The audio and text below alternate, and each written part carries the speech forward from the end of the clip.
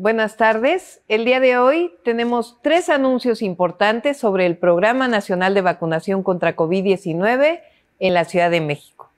Primero, la segunda dosis para personas de 60 años y más de las alcaldías de Tlalpan e Iztapalapa se llevará a cabo del lunes 3 al viernes 7 de mayo de 9 de la mañana a 4 de la tarde.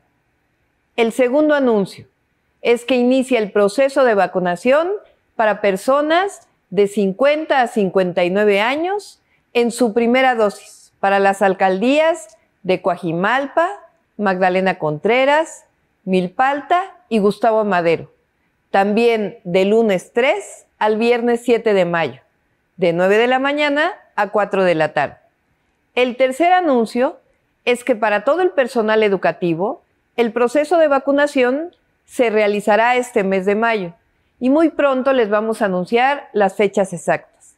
Pero es importante que nos ayuden para ver si están o no en el padrón. Para ello hay que ingresar su CURP en vacunación.cdmx.gov.mx. En caso de no estar en el padrón, por favor hablen con las autoridades del centro educativo al que pertenecen para que puedan ser incluidos. En Tlalpan serán las mismas sedes donde se aplicó la primera dosis, es decir, la Escuela Nacional Preparatoria número 5, José Vasconcelos y Six Flags México, y el Instituto de Educación Media Superior de la Ciudad de México en Topilejo. Estamos hablando de segunda dosis para adultos de 60 y más años. También para adultos de 60 y más años en Iztapalapa son siete macrounidades de vacunación. La Universidad Metropolitana, sede Iztapalapa, la sede del Servicio de Transportes Eléctricos, Telecom de México, la Facultad de Estudios Superiores de Zaragoza, el Deportivo Santa Cruz Mellehualco, la Vocacional número 7 y la Unidad Militar El Belgel. Las personas que recibieron su primera dosis en el Palacio de los Deportes pueden acudir a cualquiera de las otras sedes. En el caso de la primera dosis para adultos de entre 50 y 59 años de edad, las sedes de vacunación son las siguientes. En Gustavo Amadero se contará con seis macrounidades de vacunación. El Deportivo Hermanos Galeana, el Deportivo Carmen Cerdán, la Escuela Nacional Preparatoria número 9, la Escuela Nacional de Ciencias Biológicas del Politécnico en Zacatenco, el Centro Cultural Jaime Torres Bodet, también del Poli en Zacatenco, y la Escuela Secundaria Diurna número 85. En Coajimalpa, la sede única estará ubicada en Expo Santa Fe. Para Magdalena Contreras, en este caso, será en el ITAM, Campus Santa Teresa. Y para Milpalta, en el Deportivo Villa Milpalta.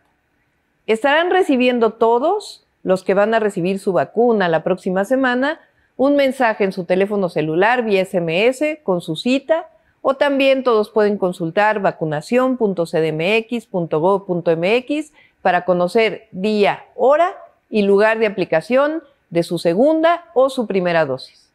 Es importante respetar el día que les corresponde vacunarse de acuerdo con la letra inicial de su apellido paterno según el siguiente calendario.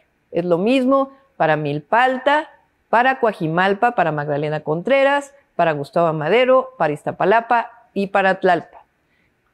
Recuerden llevar identificación, comprobante de domicilio y en el caso de la segunda dosis, el recibo que les fue entregado cuando les dieron la primera dosis. Si por alguna razón no lo tienen, en la entrada habrá un módulo especial para su identificación. Quiero decirles que están garantizadas las vacunas para todos y para todas. Por favor, respeten su cita. Eso nos ayuda a que la vacunación sea ágil, eficiente y así poderles dar una mejor atención. Para las personas de 50 a 59 años que ya se registraron en mivacuna.salud.gov.mx, de ser posible, impriman el registro y llénenlo completamente. Eso también nos va a ayudar mucho para un proceso de vacunación más expedito. También recuerda que hasta 15 días después de la segunda dosis estás más protegido. Para todos los demás, no olviden seguir las reglas sanitarias. Protégete y protege a los demás. No olvides suscribirte a mi canal. Y sígueme en mis redes sociales. Me encuentras como Balbás Academic en Twitter, en Instagram Y claro, en YouTube. En Facebook me encuentras como Balbás Academic JC. Si tienes alguna idea de algún tutorial, házmelo saber en los comentarios. Y comparte este video para que más personas. Y no lo olvides, nos seguimos acompañando en este camino. Gracias.